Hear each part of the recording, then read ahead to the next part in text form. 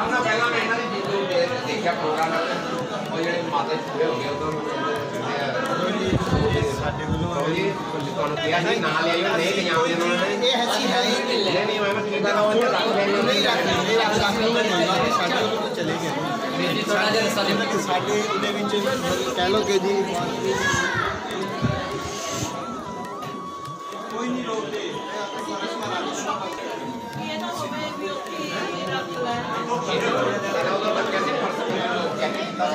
ਮਾਲ ਇੱਧਰ ਆਵੇ ਅਸੀਂ ਆਵੇ ਨਾ ਮੈਂ ਯਾਰ ਅਸੀਂ ਮਾਲ ਸਾਡਾ ਪਾਕਿਸਤਾਨ ਜਾਵੇ ਮਾਲ ਤੇ ਉਧਰਲਾ ਮਾਲ ਇੱਧਰ ਆਵੇ ਤੇ ਇੱਧਰ ਵਪਾਰ ਵਧੇ ਸਾਡੇ ਦੇ ਵਿੱਚ। ਤੇ ਲੇਕਿਨ ਪਤਾ ਨਹੀਂ ਕਦੋਂ ਆਪਣਾ ਕੀ ਨਾਮ ਹੈ ਜੀ? ਬਦਨ ਜਾਵਾ। ਹਾਂਜੀ? ਮਦਨ ਜਾਵਾ। ਮਦਨ ਜਾਵਾ। ਪਹਿਲੀ ਵਾਰੀ? ਹਾਂਜੀ। ਅੱਛਾ। ਅਸੀਂ ਤਾਂ ਦਿੱਲੀ ਤੋਂ ਆਏ ਆ ਨਾ ਹੋਰ ਦੂਰੋਂ ਆਏ ਆ। ਇਹਨਾਂ ਦੇ ਪਿੱਛੇ ਸਾਰਾ ਇੱਥੇ ਪਾਕਿਸਤਾਨ ਤੋਂ ਪਹਿਲਾਂ ਪੁੱਛਦੇ ਆ ਜੀ ਕਿਹੜੀ ਜਗ੍ਹਾ ਤੋਂ ਪਿਛੋਕੜ ਆਪਣਾ ਤੇ ਪਾਕਿਸਤਾਨ ਨੇਕੋਪੁਰਾ ਜੀ ਨੇਕੋਪੁਰਾ ਨੇਕੋਪੁਰਾ ਸ਼ੋਰਕੋਟ। ਸ਼ੋਰਕੋਟ ਸ਼ੋਰਕੋਟ ਕਿਹੜੀ ਜਗ੍ਹਾ ਨੇਕੋਬਰਾ ਦੇਖੋ ਘਰ ਹੈਗਾ ਮੀਰੇ ਸਾਲ ਦੇ ਪਿੱਛੇ ਪਿੰਡ ਹੈਗਾ ਅੱਛਾ। ਦਰਿਆਵਾਂ ਪਾਰ ਕਰਦਾ ਉਹ ਤਾਂ 18 ਸਾਰੀਆਂ ਦੀ ਸਾਈਡ ਤੋਂ ਹੋਣਾ ਪੈਂਦਾ। ਹਿੰਦੁਸਤਾਨ ਦੇ ਪੂਰਾ ਹਾਂਜੀ। ਉਹ ਆਲਰੇਡੀ ਪਹਿਲੇ ਬਣੀ ਸੀ। ਕਿਹਨਾਂ ਨੇ ਬਣਾਈ ਸੀ? ਮੈਂ ਹੀ ਬਣਾਈ ਸੀ ਅੱਛਾ ਆਲਰੇਡੀ ਬਣੀ। ਆਲਰੇਡੀ ਦੇ ਪਹਿਲੇ ਬਣੀ ਸੀ ਹਾਂ ਤੇ ਉਹ ਫਿਰ ਇਹਨਾਂ ਨੇ ਲਿੰਕ ਭੇਜਤਾ ਸੀ ਵੀ ਤੁਸੀਂ ਦੇਖ ਲਓ। ਦੀ ਜੋ ਕੰਮ ਜੀ ਸਰਕਾਰ ਸਾਹਿਬ ਨੇ ਕੀਤਾ ਹੈ ਨਾ ਪਾਰਟੀਸ਼ਨ ਦੇ ਉਹ ਬੰਦਾ ਹੋਰ ਕੋਈ ਨਹੀਂ ਕਰ ਸਕਦਾ। ਇਹ ਵਾਹਤ ਬੰਦੇ ਆ ਜਿਹੜੇ ਮੋਟਰਸਾਈਕਲ ਤੇ ਕੋਈ 2-2 300 ਕਿਲੋਮੀਟਰ ਦਾ ਸਫ਼ਰ ਤੈਅ ਵੀ ਕਰਦੇ ਮੋਟਰਸਾਈਕਲ ਤੇ ਆ ਰਹੇ ਸੀ ਸਾਨੂੰ ਮਿਲਣ ਇੱਥੇ। ਮੋਟਰਸਾਈਕਲ ਮੋਟਰਸਾਈਕਲ ਇਹਨਾਂ ਨੇ ਆਪਣੇ ਬੇਟੇ ਦੇ ਘਰ ਛੱਡਿਆ ਬਰਸਾਤ ਕਰਕੇ ਫੈਸਲਾਬਾਦ। ਇਹਨਾਂ ਨੂੰ ਤਾਂ ਕੇਟੂਲੀ ਪਹਾੜੀ ਦੇ ਗਏ ਇਹਨਾਂ ਨੂੰ ਮੋਟਰਸਾਈਕਲ ਸਿੱਧਾ ਕਰ ਦੇਣਗੇ। ਮਜ਼ਾਕ ਬੰਦੇ ਆ ਜੀ। ਬਾਕੀ ਬਿਲਾ ਸ਼ੁਬਾ ਜੀ ਇਹਨਾਂ ਨੇ ਬਹੁਤ ਕੰਮ ਕੀਤਾ ਆ ਔਰ ਇਹਨਾਂ ਨੂੰ ਦੇਖ ਕੇ ਇੰਸਪਾਇਰੇਸ਼ਨ ਲਈ ਇਹਨਾਂ ਸਾਡੇ ਵਰਗੇ ਲੋਕਾਂ ਨੇ ਵੀ ਤੇ ਦੇਖਾ ਦੇਖੀ ਵੀ ਕੰਮ। ਲੇਕਿਨ ਬਦਕਿਸਮਤੀ ਕਿ ਇਹਨਾਂ ਦਾ ਕੰਮ ਉਸ ਲੈਵਲ ਦਾ ਨਹੀਂ ਹੋ ਸਕਿਆ। ਜਿੰਨੀ ਖਿਦਮਤ ਕੀਤੀ ਹੈ ਨਾ, ਉਹਨਾਂ ਰਿਸਪੌਂਸ ਨਹੀਂ ਇਹਨਾਂ ਨੂੰ ਮਿਲ ਰਿਹਾ। ਜਾਂ ਲੋਕਾਂ ਤੱਕ ਇਹਨਾਂ ਦੀ ਵੀਡੀਓ ਨਹੀਂ ਜਾ ਰਹੀ।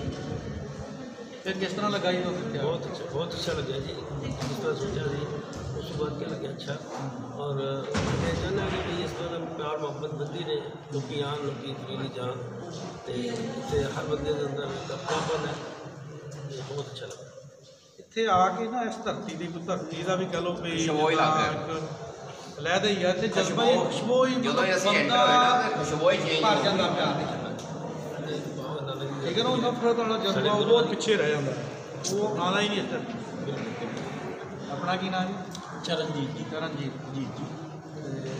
ਦਿੱਲੀ ਤੋਂ? ਦਿੱਲੀ ਚੰਗਾ ਲੱਗਾ। ਬੜਾ ਅੱਛਾ ਲੱਗਿਆ। ਚੰਗਾ ਨਹੀਂ ਲੱਗਿਆ ਬੜਾ ਚੰਗਾ ਬੜਾ ਹੀ ਲੱਗਿਆ। ਚੰਗਾ ਲੱਗਾ। ਤੁਸੀਂ ਵੀ ਨਾਲ ਹੀ ਕੁਮਾਰ ਸਾਹਿਬ ਦੇ ਆਏ ਹੋ। ਹਾਂਜੀ। ਇਹ ਤੁਸੀਂ ਜਾਣਦੇ ਹੋਣੇ ਆ ਆਪਣੇ ਸਾਂਝਾ ਪੰਜਾਬ ਚੈਨਲ ਦੇ ਖਾਦਮ ਹੁਸੈਨ ਜੀ। ਉਹਨਾਂ ਦੇ ਨਾਲ ਹੀ ਕਾਂਦਰ ਦੇ ਬਾਜਵਾ ਸਾਹਿਬ। ਹਾਂ ਹਾਂ। ਤੇ ਉਹ ਉਹਨਾਂ ਦੀ ਨਾ ਮੈਂ ਇੱਕ ਵੀਡੀਓ ਬਣੀ ਸੀ ਮੈਂ ਥੋੜੇ ਦਿਨ ਇੱਥੇ ਹੀ ਕਰਤਾਰਪੁਰ ਸਾਹਿਬ ਲਈ ਬਣੀ ਸੀ ਉਹਨਾਂ ਦੀ ਵੀਡੀਓ। ਬਹੁਤ ਅੱਛੀ ਵੀਡੀਓ ਸੀ ਉਹਨਾਂ ਦੀ। ਤੇ ਉਹ ਮੈਂ ਇਹਨਾਂ ਨੂੰ ਸੈਂਡ ਕੀਤੀ ਸੀ ਮੈਂ ਤਾਂ ਮੈਨੂੰ ਅੱਜ ਦੱਸਿਆ ਸੀ ਕਹਿੰਦਾ ਯਾਰ ਉਹ ਜਿਹੜਾ ਬੰਦਾ ਸੀ ਨਾ ਪਗੜੀ ਵਾਲਾ ਬਾਜਵਾ ਕਹਿੰਦਾ ਸਾਡੇ ਦਾਦੇ ਵਰਗਾ ਲੱਗਦਾ। ਬਿਲਕੁਲ ਸੇਮ ਸਾਡੇ ਦਾਦੇ ਉਹ ਅੱਛਾ ਠੀਕ ਹੈ ਠੀਕ ਹੈ ਬਾਜਵਾ ਸਾਹਿਬ।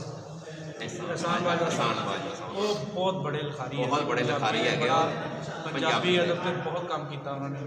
ਉਹਨਾਂ ਵਰਗੇ ਕਿਤੇ ਮਾਮਾ ਨੇ ਰੋਜ਼ ਜੰਮਦੇ ਬਿਲਕੁਲ ਉਹ ਬਹੁਤ ਕਲਾਕਾਰ ਆਦਮੀ ਨੇ ਮੈਂ ਦੇਖਿਆ ਉਹਨਾਂ ਨੂੰ ਸੁਣਿਆ ਵੀ ਹੈ ਦੋ ਤਿੰਨ ਜਗ੍ਹਾ। ਤੇ ਬਾਕੀ ਆ ਮੈਂ ਉਹਨਾਂ ਦੇ ਇੰਟਰਵਿਊ ਜਿਹੜੇ ਦੇਖੇ ਨੇ ਪਰਸੋਂ ਕਿਆ ਕਮਾਲ ਦੇ ਸੀ। ਆਪਣੇ ਡਾਕਟਰ ਸਾਹਿਬ ਸੀ ਕੋਈ ਬਠਿੰਡੇ ਤੋਂ ਉਹਨਾਂ ਨਾਲ ਸੀਗੇ ਉਹਨਾਂ ਦੇ interview। ਬਹੁਤ ਮੁਹੱਬਤ ਪਿਆਰ ਵਾਲੀ ਸੀ ਵੀਡੀਓ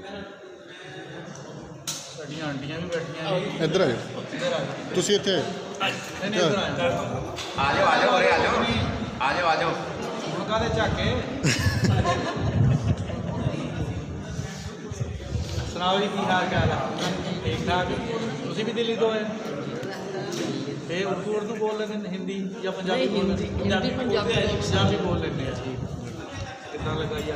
تو بہت اچھا لگا اتنا سکون ملا نا یہاں پہ آ کے आके तो हमें पहली बार आया तो अच्छा लगा हमने तो सोचा भी नहीं था कि हम यहाँ पे आएंगे गवर्नमेंट ने जो ये अच्छा काम बहुत बहुत अच्छा अच्छा काम काम। किया है तो हमें बहुत अच्छा लगा बहुत अच्छा सुकून मिला हम जाके सबको बताएंगे सब यहाँ पे आए ਬਿਲਕੁਲ ਜੀ ਯੂਥ ਨੂੰ ਦੱਸਣ ਦੀ ਲੋੜ ਆ हाँ जी ਕਿ ਜਿਨ੍ਹਾਂ ਦੇ ਦਿਲਾਂ ਵਿੱਚ ਇਹ ਆ ਕਿ ਪਾਕਿਸਤਾਨ ਚਲ ਗਏ ਤਾਂ ਪਤਾ ਨਹੀਂ ਮੁੜ ਕੇ ਕੀ ਬਣਨਾ ਹੈ सब पूछेंगे तो हम कहेंगे आप भी जाओ देख के आओ देखने में देखने में ज़्यादा अच्छा लगता है ਕੋਈ ਵੀ ਇਨਸਾਨ ਜਿਹੜਾ ਨਾ ਮੱਥਾ ਡਰਦੇ ਦਿਲ ਰੱਖਦਾ ਆਪਣੇ ਅੰਦਰ ਉਹ ਮੁਹੱਬਤ ਨੂੰ ਸਮਝਦਾ ਹੈ ਇਸ ਜਜ਼ਬੇ ਨੂੰ ਸਮਝਦਾ ਉਹ ਕਦੇ ਵੀ ਜਾ ਕੇ ਗਲਤ ਬਿਆਨੀ ਨਹੀਂ ਕਰੇਗਾ ਉਹ ਉਹੀ ਚੀਜ਼ ਦੱਸੂਗਾ ਜੋ ਉਹਨੂੰ ਮਿਲੀ ਹੈ नहीं ये तो भाई साहब की मेहरबानी से हम आए नहीं तो हमने तो सोचा भी नहीं था कि करतारपुर हम आएंगे ਜਿੰਨਾ ਪੰਜਾਬੀਆਂ ਲਈ ਪਿਆਰ ਇਹਨਾਂ ਦੇ ਦਿਲ ਦੇ ਵਿੱਚ ਹੈ ਨਾ ਹਾਂਜੀ। ਮੈਂ ਬਹੁਤ ਘੱਟ ਬੰਦੇ ਨੂੰ ਇਹ ਤਾਰੀਫ ਦੀ ਇਹ ਗੱਲ ਮਤਲਬ ਨਹੀਂ ਪਤਾ ਹੈ, ਨਹੀਂ ਕੁਦਰਤ ਵੱਲੋਂ ਇਹ ਹੈ ਵੀ ਇਹੀ ਹੈ ਸਾਡੇ ਜੇ ਦੋਨੇ ਕਹਿੰਦਾ ਵੀ ਜੁੜ ਲੋ ਜੁੜ ਜੋ ਜੁੜ ਜੋ ਤੇ ਆਂਟੀ ਜੀ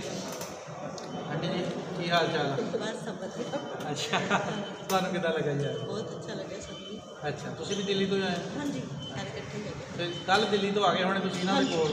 ਰਾਤੀ ਉੱਥੇ ਕਿਤੇ ਰਾਤ ਤਾਂ ਨੀਂਦ ਨਹੀਂ ਆਈ ਹੋਣੀ। ਸੁਬਾ ਜਾਣਾ? ਆਪਾਂ 3:30 ਵਜੇ ਉੱਠੇ ਸਾਰੇ ਬੰਦੇ ਨੇ ਕਿਤੇ ਜਾਣਾ ਹੋਵੇ ਸਵੇਰ ਨੂੰ ਫਿਰ ਰਾਤ ਨੂੰ ਕਿਤੇ ਨੀਂਦ ਆਉਂਦੀ ਹਲੇ ਉਪਰੀ ਜਗ੍ਹਾ ਪਹਿਲੀ ਰਾਤ ਬਿਲਕੁਲ ਹੀ ਨਹੀਂ ਆਉਂਦੀ ਹੈਗੀ। ਕੱਲ ਤੇ ਠੀਕ ਕਰਦੇ ਹੋ ਹਾਂਜੀ? ਬਿਲਕੁਲ ਠੀਕ ਹੈ। ਤਾਂ ਫਿਰ ਕੀ ਜਾ ਕੇ ਹੁਣ ਤੁਸੀਂ ਸੁਨੇਹਾ ਦੋਗੇ बहुत अच्छा लगा पता ही लगता फर्क है अच्छी बॉर्डर का ही फर्क है सिर्फ और ते जमीन ही ਗੱਲਾਂ कोई ਬਾਤਾਂ ਵੀ है ਉਹੀ ਹੈ ਨਾ ਆਪਣੀ हाँ सब चीज़ ही कोई है बंदे भी वही है कि हाँ जी ਲੰਗਰ ਲੰਗਰ ਹਾਲ ਦੇ ਵਿੱਚ ਗਏ ਨਾ ਅਸੀਂ ਤਾਂ ਮੈਂ ਉਹ ਜਿੱਧਰ ਲੰਗਰ ਪੱਕਦਾ ਆ ਤੇ ਜਿਹੜਾ ਬਰਤਾਨ ਇਹ ਦੇਖੋ ਜੀ ਅਸੀਂ ਲੰਗਰ ਵੀ ਉੱਥੇ ਹਿੰਦੂ, ਸਿੱਖ, ਮੁਸਲਮਾਨ ਤਿੰਨੋਂ ਹੀ ਬਣਾ ਰਹੇ ਆ, ਭਾਂਡੇ ਧੋ ਰਹੇ ਆ ਔਰ ਕਹਿੰਦੇ ਨਹੀਂ ਨਹੀਂ, ਤੁਸੀਂ ਸਾਨੂੰ ਦਿਓ, ਅਸੀਂ ਆਪੇ ਧੋਵਾਂਗੇ। ਮੈਂ ਕਿਹਾ, ਅਸੀਂ ਵੀ ਧੋ ਸਕਦੇ ਹਾਂ। ਨਹੀਂ ਨਹੀਂ, ਤੁਸੀਂ ਦੱਸ ਦਿਓ, ਆਪ ਵੀ ਧੋ ਸਕਦੇ ਵੈਸੇ ਕਹਿੰਦੇ, ਲੇਕਿਨ ਤੁਸੀਂ ਦਿਓ, ਇੱਧਰ ਅਸੀਂ ਧੋਂਦੇ ਹਾਂ ਤੁਸੀਂ ਸਾਡੇ ਮਹਿਮਾਨ ਹੋ ਗਏ ਇੰਨਾ ਅੱਛਾ ਲੱਗਿਆ ਉਹਨਾਂ ਸੁਣ ਕੇ ਭੈਣ ਦੇ ਮੂੰਹ, ਅੰਦਰ ਭੈਣਾਂ ਧੋ ਰਹੀਆਂ ਸੀ ਭਾਂਡੇ ਤੇ। ਤੇ ਕਹਿੰਦੇ, ਨਹੀਂ ਨਹੀਂ ਤੁਸੀਂ ਸਾਡੇ ਮਹਿਮਾਨ ਹੋ, ਸਾਨੂੰ ਦਿਓ ਤੁਸੀਂ ਇਹ, ਅਸੀਂ ਧੋਵਾਂਗੇ ਆਪੇ ਤੇ ਉਹ ਬਣਾਉਣ ਵਾਲੇ ਜਿਹੜੇ ਅੰਦਰ ਭੋਜਨ ਬਣਾ ਰਹੇ ਆ ਉਹ ਵੀ ਬੜੇ ਮੁੰਡੇ ਅੱਛੇ ਲੱਗੇ ਕੋਈ ਕਹਿੰਦਾ ਮੈਂ ਫੈਸਲਾਬਾਦ ਦਾ ਕੋਈ ਕਹਿੰਦਾ ਮੈਂ ਰਾਮ ਕੀ ਬਣਾਇਆ ਸੀ ਲੰਗਰ ਚ? ਲੰਗਰ ਜੀ ਮਾਂ ਛੋਲੇ ਦੀ ਦਾਲ ਸੀ ਤੇ ਇੱਕ ਆਲੂ ਦੀ ਸਬਜ਼ੀ ਸੀ ਤੇ ਖੀਰ ਸੀਗੀ ਨਾਲ। ਚਾਵਲ। ਸੀਗੇ ਨਾਲ ਚਾਵਲ। ਰੋਟੀ ਨਾਲ। ਖੀਰ ਬੜੀ ਸਵਾਦ ਅੱਛਾ। ਖੀਰ ਸਵਾਦੀ ਸੀ ਖੀਰ ਬਹੁਤ ਸਵਾਦ ਚਲੋ ਪਾਕਿਸਤਾਨ ਦੀ ਖੀਰ ਤਾਂ ਖਾ ਲਈ ਬਿਲਕੁਲ। ਹੋਰ ਵੀ ਬੜੇ ਜਿਹੜੇ ਸਿਕਿਉਰਟੀ ਗਾਰਡ ਨੇ ਬੜੇ ਸਾਰੇ ਆਰਮੀ ਵਾਲੇ ਅਸੀਂ ਹੱਥ ਮਿਲਾਉਂਦੇ ਆਏ ਸਾਰਿਆਂ ਨਾਲ ਹੀ। ਮੈਨੂੰ ਇੱਕ ਪੰਜਾਬ ਪਾਕਿਸਤਾਨ ਦੇ ਕਪਲ ਮਿਲਿਆ। ਤੇ ਮੈਨੂੰ ਕਹਿੰਦੇ ਉਹ ਵੀ ਤੁਸੀਂ ਆਏ ਹੋ ਤੁਹਾਡਾ ਵੀਜ਼ਾ ਨਹੀਂ ਲੱਗਿਆ? ਮੈਂ ਕਿਹਾ ਵੀ ਨਹੀਂ ਸਾਡੇ ਨਹੀਂ ਵੀਜ਼ਾ ਲੱਗਦਾ ਸਾਡੇ ਸਿਰਫ ਸਟੈਂਪ ਹੀ ਲੱਗੀ ਆ ਉਹਦੇ ਉੱਤੇ ਜਿਹੜੇ ਈਟੀਏ ਫਾਰਮ ਹੈ ਇਸ ਚੀਜ਼ ਨੂੰ ਕਲੀਅਰ ਕਰੋ ਸਿਰਫ ਸਟੈਂਪ ਹੀ ਲੱਗਦੀ ਆ। ਹਾਂਜੀ। ਨਹੀਂ ਸਟੈਂਪ ਹੀ ਲੱਗਦੀ ਹੈ ਪਾਸਪੋਰਟ ਤੁਹਾਨੂੰ ਉਹਦੇ ਆਪਾਂ ਨੂੰ ਚਾਹੀਦਾ ਸਿਰਫ ਇੱਕ ਪ੍ਰੂਫ ਲੇਡ Identification ਲਈ ਚਾਹੀਦਾ। ਕਿ ਇੰਡੀਅਨ ਰੈਜ਼ੀਡੈਂਸ ਹੈਗੀ। ਤੇ ਬਾਕੀ ਦਾ ਇੱਕ ਈਟੀਏ ਫਾਰਮ ਹੈ ਜਿਹੜਾ ਉੱਤੇ ਸਟੈਂਪ ਲੱਗਣੀ ਹੈ। ਤੇ ਉਹ ਕਹਿੰਦੇ ਵੀ ਅੱਛਾ ਤੇ ਕਹਿੰਦੇ ਜੇ ਸਾਨੂੰ ਇੰਡੀਆ ਜਾਣਾ ਪਵੇ ਮੈਂ ਕਿਹਾ ਤੁਹਾਨੂੰ ਤਾਂ ਵੀਜ਼ਾ ਲੈਣਾ ਪਊਗਾ ਵੀ ਉਧਰ ਨਹੀਂ ਹਲੇ ਇਦਾਂ ਦਾ ਕੁਝ ਹੈਗਾ ਕਿ ਕੋਈ ਕੋਰੀਡੋਰ ਖੁੱਲਾ ਹੋਵੇ ਜਾਂ ਕੁਝ ਜੀ। ਕਹਿੰਦੇ ਇਹ ਤਾਂ ਬੜੀ ਨਾ ਇਨਸਾਫੀ ਹੈ ਤੁਸੀਂ ਆ ਸਕਦੇ ਹੋ ਅਸੀਂ ਨਹੀਂ ਜਾ ਸਕਦੇ। ਵੀ ਕਹਿੰਦੇ ਉਹਨਾਂ ਦੇ ਜਿਵੇਂ ਸਾਨੂੰ ਉੱਥੇ ਖਿੱਚ ਆਉਣ ਕਰਦੀ ਹੈ ਵਾਲੇ ਵੀ ਟਾਈਮ ਆਉਣਾ ਦੇ ਹੈ ਵਿੱਚ ਬਹੁਤ ਸਾਰੀਆਂ ਪੋਜ਼ਿਟਿਵ ਜਿਹੜੀਆਂ ਚੇਂਜਸ ਆਉਣੀਆਂ ਆ ਜਿਹਦੇ ਵਿੱਚ ਉਮੀਦ ਕਰਦੇ ਹਾਂ ਕਿ ਅਸੀਂ ਆਪਣੀ ਗਵਰਨਮੈਂਟ ਆਫ ਪਾਕਿਸਤਾਨ ਅੱਗੇ ਅਪੀਲ ਵੀ ਕਰਦੇ ਹਾਂ ਕਿ ਕਟਾਸ ਰਾਜ ਜੋ ਹੈ ਉਹਨੂੰ ਵੀ ਖੋਲਿਆ ਜਾਵੇ। ਇਸੇ ਤਰ੍ਹਾਂ ਜਿਸ ਤਰ੍ਹਾਂ ਇਹਨਾਂ ਨੂੰ ਖੁੱਲੇ ਦਿਦਾਰੇ ਦਿੱਤੇ ਆ ਨਾ ਸਰਦਾਰ ਭਾਈਆਂ ਨੂੰ। ਉਹਨਾਂ ਨੂੰ ਵੀ ਇਸੇ ਤਰ੍ਹਾਂ ਹੀ ਕਿਉਂਕਿ ਉਹ ਵੀ ਉਹਨਾਂ ਦੀ ਅਕੀਦਤ ਵਾਲੀ ਜਗ੍ਹਾ ਆ। ਜਿੰਨੀ ਅਕੀਦਤ ਇਹਨਾਂ ਨੂੰ ਨਹੀਂ ਉਹਨਾਂ ਨੂੰ ਚਾਰ ਪੰਜ ਪੁਆਇੰਟ ਇਦਾਂ ਦੇ ਹੋਰ ਹਾਂਜੀ, ਘੱਟ ਜਾਣ ਤੇ ਬੜੀਆਂ ਰੌਣਕਾਂ ਲੱਗ ਫਿਰ ਇੱਕ ਹੋਰ ਟੂਰ ਹੈ ਜਿਹੜੇ ਰਾਮ ਲక్ష్మణ ਚੌਂਤਰਾ। ਹਾਂ। ਉਹ ਰਾਵੀ ਦੇ ਕਿਨਾਰੇ ਜੇ ਜਿਹੜਾ ਕਿਤੇ ਡੀਜ਼ੇ ਵਾਲਾ ਵਹਿਮ ਨਿਕਲ ਲੋਕਾਂ ਦੇ ਦਿਲ ਤੇ ਫਿਰ ਤਾਂ ਇਹਨਾਂ ਚੀਜ਼ਾਂ ਦੀ ਲੋੜ ਨਹੀਂ ਹੈਗੀ ਬਹੁਤ ਸਾਰੀਆਂ ਵੀਡੀਓ ਦੇ ਵਿੱਚ ਇਹ ਬਾਤ ਕਲੀਅਰ ਕੀਤੀ ਆ ਕਿ ਜਿਹੜਾ ਕੀਤਾ ਜਾਂਦਾ ਨਾ ਜੀ ਪ੍ਰੋਪਾਗੈਂਡਾ ਕਿ ਜਿਹੜਾ ਪਾਕਿਸਤਾਨ ਦੀ ਧਰਤੀ ਤੇ ਆ ਗਿਆ ਉਹਦਾ ਦੁਬਾਰਾ ਵੀਜ਼ਾ ਨਹੀਂ ਲੱਗਣਾ। ਕੋਈ ਵੀ ਮੁਲਕ ਐਸਾ ਨਹੀਂ ਜਿੱਥੇ ਪਾਕਿਸਤਾਨ ਦਾ ਬੰਦਾ ਜਿਹੜਾ ਸਾਡੇ ਸਾਡੇ ਜਿਹੜੇ ਲੋਕ ਆ ਉਹ ਉੱਥੇ ਜਾ ਕੇ ਕੰਮ ਨਾ ਕਰਦੇ ਹੋਣ ਬਿਜ਼ਨਸ ਨਾ ਕਰਦੇ ਹੋਣ ਪੀਆਰ ਨੇ ਨਾ ਤੁਹਾਡੇ ਕਰਦੇ ਮੁੰਡੇ ਬਹੁਤ ਜ਼ਿਆਦਾ। ਬਿਲਕੁਲ ਜੀ ਉੱਥੇ ਕਈ ਕਈ ਨਸਲਾਂ ਤੋਂ ਉੱਥੇ ਬੈਠੇ ਆ।